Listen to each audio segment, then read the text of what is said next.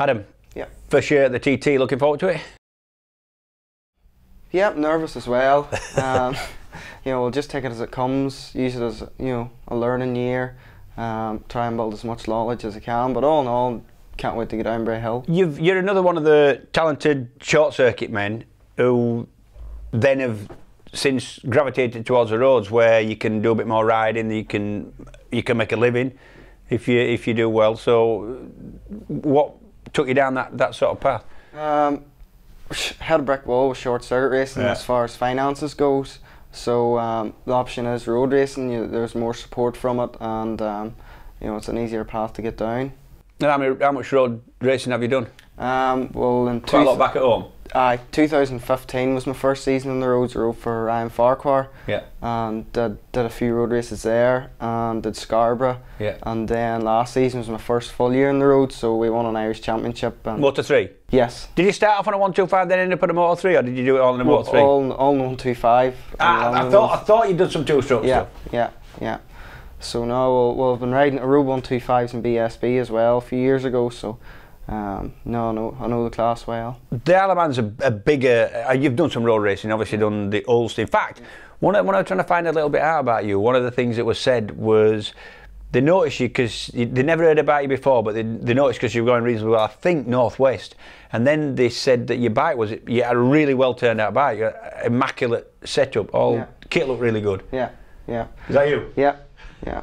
So um, no, the, the northwest was a bit of a disaster as well as the bikes were turned out. We had a few mechanical issues, Right. but um, no, we, we had a good run at the Ulster. That might the be Ulster, saw you, Yeah, actually. yeah. Um, we ran, ran the front group. There was six of us, but um, just just didn't have the horsepower where I needed it. But all in all, it was a, a good race, and it you know it showed I can run at the front of that class. The Isle of Man's a different challenge for you, though. I mean, you've done Ulster, Northwest, and the roads Yeah. at home, which there's there's quite a lot more road circuits in Ireland, and people actually know about in, in England. You don't know how many there is. I do because I've, I've been to most of them. Uh, but this is a different challenge. The Isle of Man's a, a different thing. totally different. Um, you know, it's, it's one of them things that's going to take years to learn the place and do the job right, which is another reason why I wanted to come. You know, I'm only, I'm only just turned 21. Yeah. You know, it's one of the reasons why I wanted to come so young is so you know I can take my time and learn the job properly because you know it's, it's the TT such a long circuit and it's an unforgiving place and there's so much to it. You know, just just take it all as it comes. How have you been learning? Have you be, are you a PlayStation man or a, a, a, video lap or a? Not not really. You know, more on board laps. It's good to come over Yeah. and do you know get as many laps in as you can, and then go home and relay all the information you've learned on the onboards. But when I'm over, I like going out, you know, first thing in the morning when there's no traffic, maybe four, half four in the morning, and then late at night as well.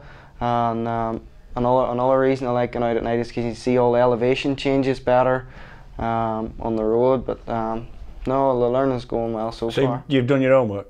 Oh yeah, yeah. and now you're ready for one of the all the newcomers have said uh, that the they've done so many laps, so many onboard laps. They've sat at home, they've they've been on the treadmill watching it, and they said now they're just ready to go. Um, yeah, I suppose that's similar to myself. I've got about 80 laps and so far. So, Have you? Yeah, so we just keep banging them in from now to now to June and we'll be dead on. Good lad, and and one of the other talented newcomers that because you look at it. Riders always say, "Oh, there's no pressure. It's my first year. You've got to learn it." Yeah. But there is a little bit that you you want to be amongst the quickest newcomers. Okay, every, everybody wants to be the fastest newcomer, but Yeah. um, no, again, we'll just take it as it comes, and if it, if it comes well, it does, and if it But one of one of the other talented newcomers this year is a fella who lives about Hi. five miles from Paul Jordan. Lives about five miles from you. yeah, but he's just down the road, so Have you raced with him before on one two fives? No, yep, yep. I thought you would have done. Aye, you know, it's always close racing between me and Paul, but um, no, it's good. It's difficult to bring that rivalry to Isle of Man when there's so much more involved, and you know you've got to go and learn it and, and get it right, don't you? Yeah, well, that's one of the things I'm, I'm not really thinking much about. You know, if, if he's quicker than me, then fair enough. We'll, we'll not we'll not That's exactly what he said, and it, it's exactly the right attitude to come. You can't come here with any preconceived.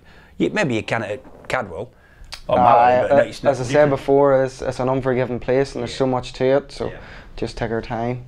When did you first get interested in doing the Isle of Man? Have you got family who's involved? A lot of people who come and do the TT have dads who race a TT or dads who, who were involved in it. Or No, it was more Sean Russell that manages the team.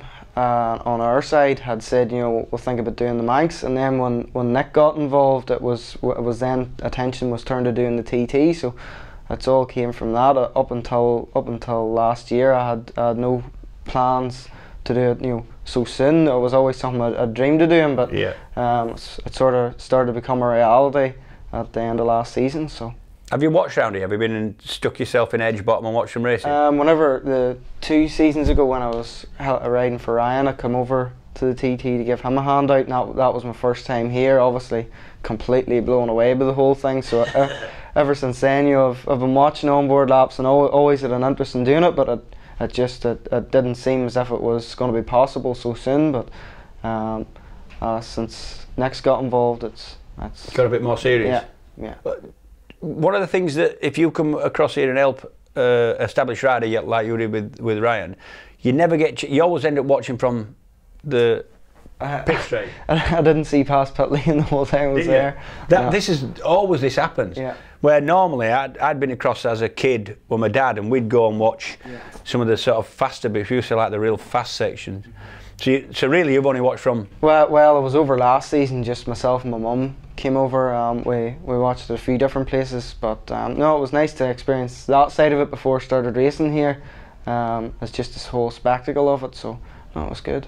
Bike wise, you shouldn't have any worries because MSS and Nick Morgan Yeah. know exactly what they're doing. Yep, yep. No, the 600 will be more than competitive. It'll be top class bike, and then we have the Hanna Performance Super Twin. Again, the same bike I was riding last year um, for the Super Twin race. So, no, it'll be well sorted of bikes. Is this like a long term plan for you? Because, like you say, you're only 21, and you, can you see yourself here in winning races in you know 10, 12, 15 years' time? Because road racing is one of the things that you you can do it, a, seem to be able to do it a lot longer than, than you can short circuit. Um, that that obviously is the, long term plan. as you know ambition is to get that far to to be winning races someday. But um, no, that was again the reason I wanted to come so young. Is I'm looking at it as a long term plan to just take my time in the next few years and learn it. And you know maybe by the time I'm 25, say or 26, I'll, I'll know exactly where I'm going and be competitive. Do you think there's an heritage that helps you? Because uh, more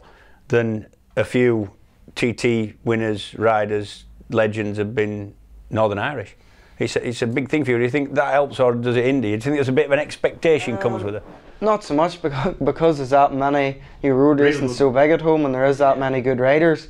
It's sort of there's not as big a fuss made about a certain person going because there is that many good riders from our part of the world. So you know maybe if you're from somewhere completely different where road racing isn't as big, there'll be a bigger deal made and a bit of pr- you know ambition, pressure behind a rider. But no, where we're from, it's sort of just normal. Yeah, yeah. Are you really looking forward to getting down that road? Um, I just I'm just Nervous? ner- nervous and um, just wondering what I'm going to expect. There's a lot involved in doing a TT that people don't understand, and a lot of the, a lot of it is kind of mental. It's not just getting a bike or getting Yeah. a team and getting here Yeah. or, or booking your ferry. It's uh, It's it's one of the one of the biggest challenges you'll ever you'll ever Ever. face in your life. in any sport. Yeah, yeah.